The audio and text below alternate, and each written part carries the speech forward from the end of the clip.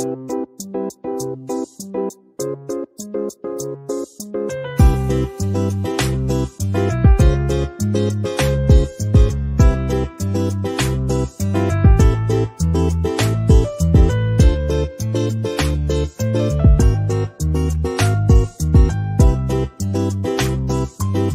Bread ರೋಲ್ಗೆ stuffing ಮಾಡ್ಕೋಬೇಕು.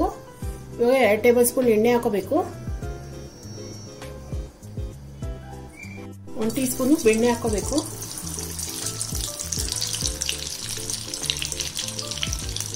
ಎರಡು ಹಸಿಮೆಣಸಿನ್ಕಾಯಿ ಚಾಪ್ ಮಾಡ್ಕೊಂಡಿದ್ದೀನಿ.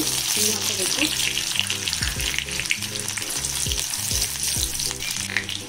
ಒಂದು ಈರುಳ್ಳಿ ಚಾಪ್ ಮಾಡ್ಕೊಂಡಿರೋದು ಹಾಕೋಬೇಕು ಸ್ವಲ್ಪ ಬ್ರೌನ್ ಆಗೋರಿಗೆ ಈರುಳ್ಳಿ ಹುರ್ಕೋಬೇಕು. ಒಂದು ಟೇಬಲ್ ಸ್ಪೂನ್ ಅಷ್ಟು ಶುಂಠಿ ಬೆಳ್ಳುಳ್ಳಿ ಪೇಸ್ಟ್ ಹಾಕೋಬೇಕು ಈರುಳ್ಳಿ ಎಲ್ಲ ಕೆಂಪಗಾದ್ಮೇಲೆ ಶುಂಠಿ ಬೆಳ್ಳುಳ್ಳಿ ಪೇಸ್ಟ್ ಹಾಕೋಬೇಕು. ಒಂದು ಮೂವತ್ತು ಸೆಕೆಂಡ್ ಇಟ್ಕೋಬೇಕು ಚೆನ್ನಾಗಿ.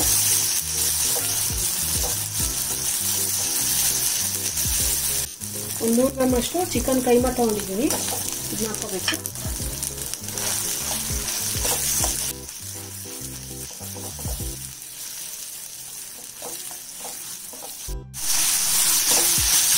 ಸ್ವಲ್ಪ ಚೆನ್ನಾಗಿ ಹುರ್ಕೋಬೇಕು ಇದನ್ನು ಒಂದು ಹಾಫ್ ಟೀ ಸ್ಪೂನ್ ಅಷ್ಟು ಸಾಲ್ಟ್ ಹಾಕೋಬೇಕು chilli powder half teaspoon ಒಂದು ಟೀ ಸ್ಪೂನ್ ಧನಿಯಾ ಪೌಡರು ಜೀರಾ ಪೌಡರ್ ಹಾಫ್ ಟೀ ಸ್ಪೂನು ಒಂದು half teaspoon garam masala powder ಒಂದು ಹಾಫ್ ಟೀ ಸ್ಪೂನು ಅರಿಶಿನ ಇದೆಲ್ಲ ಮಿಕ್ಸ್ ಮಾಡ್ಕೋಬೇಕು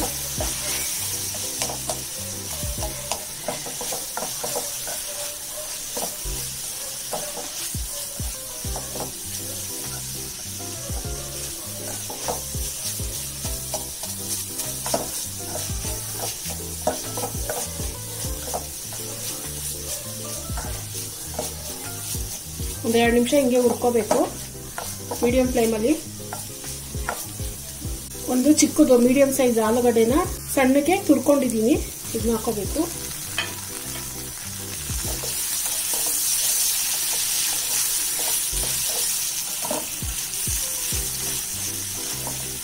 ಇದು ಆಲೂಗಡ್ಡೆ ಬೈಂಡಿಂಗ್ ತರ ಇರುತ್ತೆ ಚಿಕನ್ ಸ್ಟಫಿಂಗ್ ಮಾಡಿದಾಗ ಬಿಡಿ ಬಿಡಿಯಾಗಿ ಉದ್ರಲ್ಲ ಇದು. ಇದಕ್ಕೆ ಒಂದು ಎರಡು ಟೇಬಲ್ ಸ್ಪೂನು ಅಥವಾ ಮೂರು ಟೇಬಲ್ ಸ್ಪೂನ್ ನೀರು ಹಾಕೋತಾ ಇದ್ದೀನಿ ಬೇಯಕ್ಕೆ.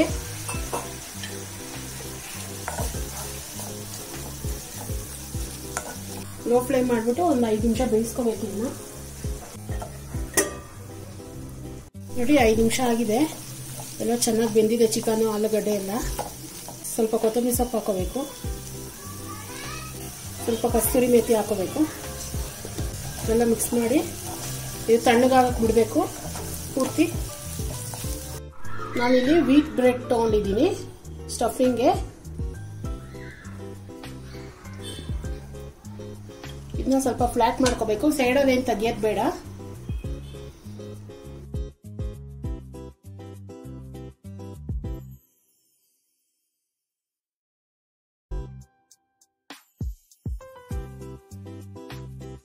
ಸ್ಟಫಿಂಗ್ ಮಾಡ್ಕೊಂಡಿದ್ವಲ್ಲ?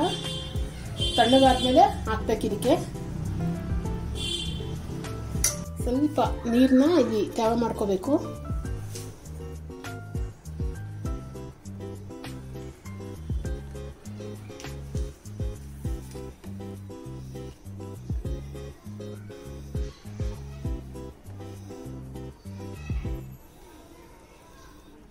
ನೀಟಾಗಿ ಸುತ್ಕೊಂಡು ಹೋಗ್ಬೇಕು ಈ ಥರ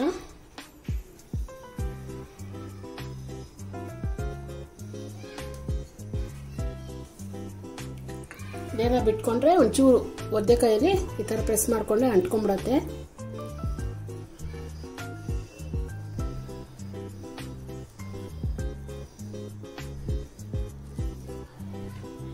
ನೋಡಿ ಎಲ್ಲ ಈ ಥರ ಮಾಡ್ಕೋಬೇಕು ರೋಲು.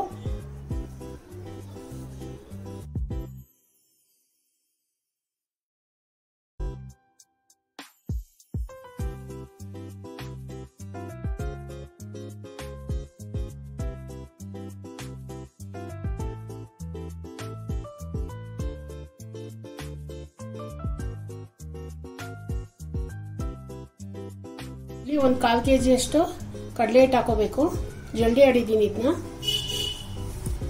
ಒಂದು ಅರ್ಧ ಟೀ ಸ್ಪೂನ್ ಅಷ್ಟು ಸಾಲ್ಟ್ ಹಾಕೋಬೇಕು. ಮುಕ್ಕಾಲು ಟೀ ಸ್ಪೂನ್ ಅಷ್ಟು ಚಿಲ್ಲಿ ಪೌಡರ್ ಹಾಕೊಂಡಿದ್ದೀನಿ. ಒಂದು ಅರ್ಧ ಟೀ ಸ್ಪೂನು ಅರಿಶಿನ ಹಾಕೋಬೇಕು. ಕಾಲು ಟೀ ಸ್ಪೂನ್ ಅಷ್ಟು ಅಡುಗೆ ಸೋಡಾ, ಅಂದರೆ ಬೇಕಿಂಗ್ ಸೋಡಾ ಹಾಕೋಬೇಕು. ಸ್ವಲ್ಪ ಕೊತ್ತಂಬರಿ ಸೊಪ್ಪು ಹಾಕೋಬೇಕು. ಇವೆಲ್ಲ ಮಿಕ್ಸ್ ಮಾಡಿಕೊಂಡು ಬೋಂಡ ಹಿಟ್ಟು ಅದಕ್ಕೆ ಕಲಿಸ್ಕೋಬೇಕು ಇದನ್ನ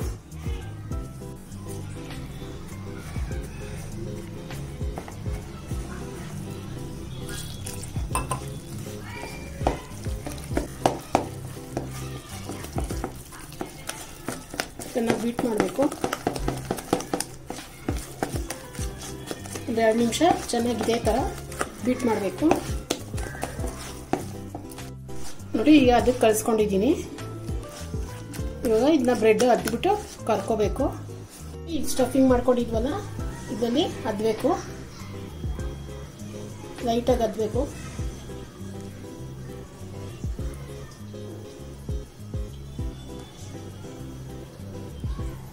ಇದನ್ನ ಎಣ್ಣೆಲಿ ಕರ್ಕೋಬೇಕು.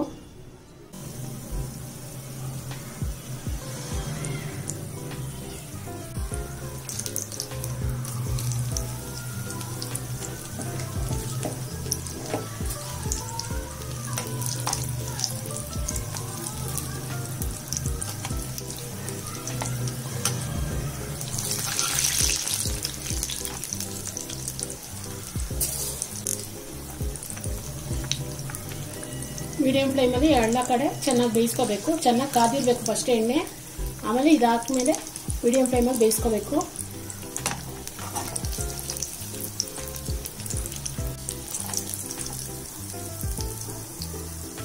ಇದಾಗಿದೆ.